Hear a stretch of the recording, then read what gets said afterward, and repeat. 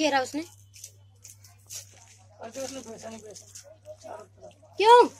क्या किया है तुमने? क्या किया है? बेसन।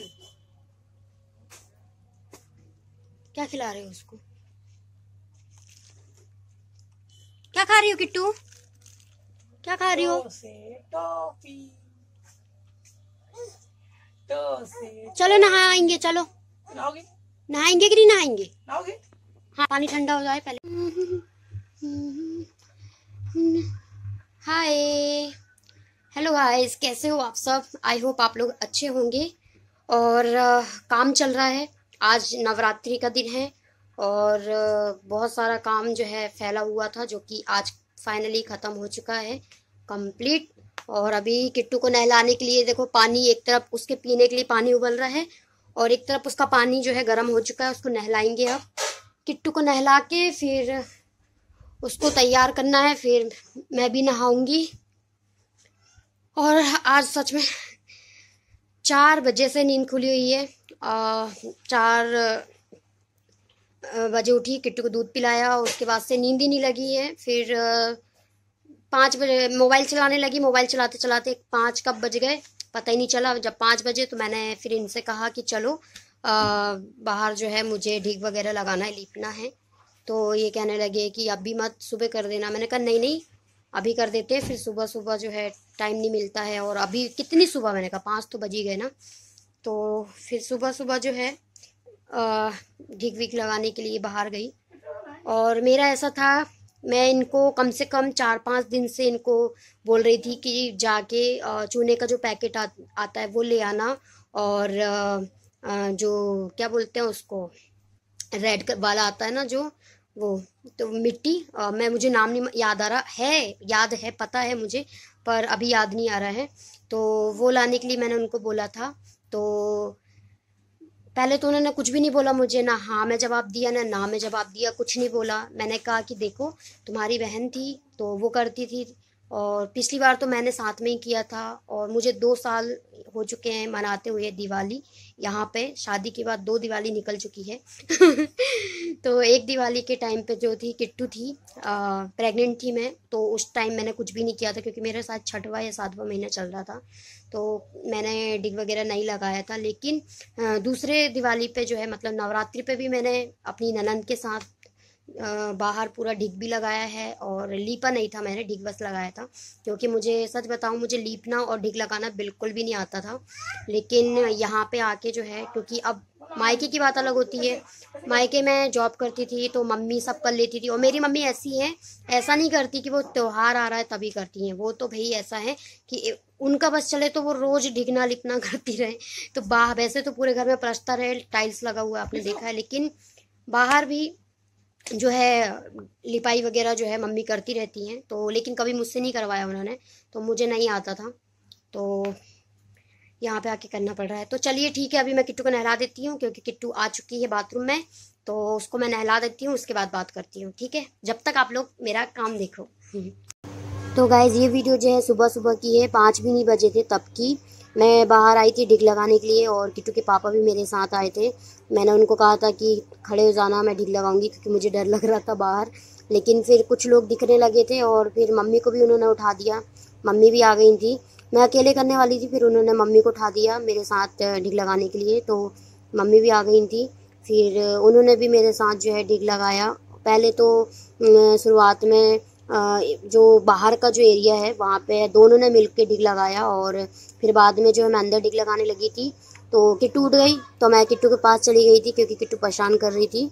इसके बाद जो है बाहर का जो लीपने का काम था, वो मैं लीपने वाली थी, लेकिन किट्टू परेशान कर रही थी, इसलिए मम्मी ने लीप दिया था। फिर मैं अंदर आँगन में, मैंने कहा कि आँगन में मैं लीप लूँगी। बाकी डिग पूरा मैंने ही लगाया है। तो डिग जो है, बाहर का मम्मी और मैंने मिल के डिग लगाया था और लिपाई मम्मी ने कर दी थी और अंदर का पूरा डिग जो है मैंने लगाया था। और लिपने वाली थी, बट मम्मी ने मुझे नहीं लिपने दिया, मना कर दिया कि यहाँ रहने दो। मुझे बहुत बुरा लगा सच में लेकिन क्या करूँ? जब उन्होंने मना ही कर दिया तो मैंने नहीं लिपा। ब- मैंने पता है पूरा गेरू वगैरह सब मंगा लिया था तो मुझे थोड़ा सा बुरा लग रहा था। बट ठीक है कोई नहीं। तो अब कैसा लगा डिग ज़रूर बताइएगा। गाइस मैं आ चुकी हूँ और अब अब हो रही है शाम। देखो। हम्म, शाम हो चुकी है और मैं लेट हो गई क्योंकि मैं कपड़े वगैरह धोने लगी थी किट्टू को नहलाने गई उसके बाद आ, कपड़े धोने लगी फिर पहले तो किट्टू को नहला के उसको तैयार किया फिर कपड़े धोए खुद नहाई फिर खाना बनाया खाना बना खाया तो उसमें जो है टाइम हो गया।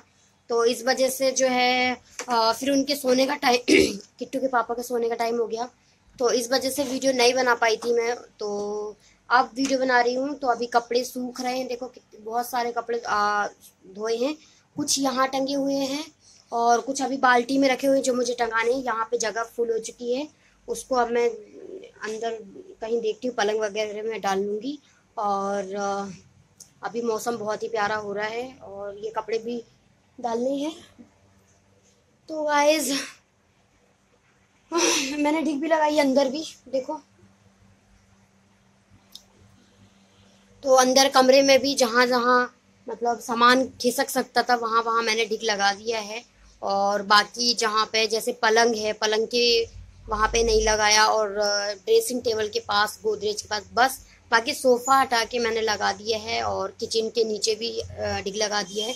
तो आधी आधी जगह जो है डिग लग चुका है, जहाँ जहाँ लगना चाहिए था। और बड़े बड़े सामान तो मेरी हटाने की हिम्मत नहीं, क्योंकि कमर में ऑलरेडी बहुत पेन है तो इस वजह से नहीं हटाया। और बस, अभी तो किट्टू सो रही है, देखो।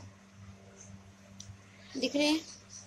किट्टू सो रही है अभी, और आपको शीशे में किट्टू के पापा भी दिख रहे होंगे, पानी पी रहे हैं, वो देखो। शीशे में दिख रहे हैं? वो देखो, वो आए। वो देखो, वो आए। वो देखो। तो देखो, दिख रहे दिख रहे हैं कि नहीं दिख रहे? तो वो भी गए अभी, और बस, आप लोगों को यही बताना था कि आज का जो ब्लॉग था उसमें हम लोग उठे थे रात मैं, हम लोग नहीं, मैं उठी थी रात को चार बजे। उसके बाद फिर पाँच बजे से मैंने काम स्टार्ट किया और मैं दो दिन पहले करने वाली थी, जैसा कि मैं आपको सुबह बात कर रहे थे। जब मैं सुबह आपको बता रही थी कि मैं दो दिन पहले जो है काम अपना ख़त्म कर देती लेकिन ये जो मैंने मिट्टी मंगाई थी, गेरू बोलते हैं, अभी याद आ गया, दिन में मुझे याद नहीं आ रहा था, उसको गेरू बोलते हैं। तो वो लेके नहीं आए थे, वो कल ही लेकर आए दिन में तो मैंने इनको कहा, मैं रात में कर दूँगी बट इन्होंने रात में कह दिया कि मम्मी कर लेंगी। मैं मम्मी के भर, मम्मी को मैंने बोला कि अपन साथ में कर लेते हैं। वो कहने लगी, नहीं नहीं कि तू परेशान करती है, तुम मत करो, मैं कर लूँगी। तो मैंने पहले टाइम देखा, नौ बज गए, दस बज गए, ग्यारह बज गए, रात को बारह बजे तक मैंने देखा कि ढिक तो लगा ही नहीं है। फिर मैंने सोचा कि कब लगेगा करके। तो बस, यही था आज का ब्लॉग आप लोगों को ब्लॉग कैसा लगा ज़रूर बताइएगा, क्योंकि अब कल से जो है हम लोगों की तैयारी शुरू हो जाएगी क्योंकि सिर्फ़ संडे का दिन है।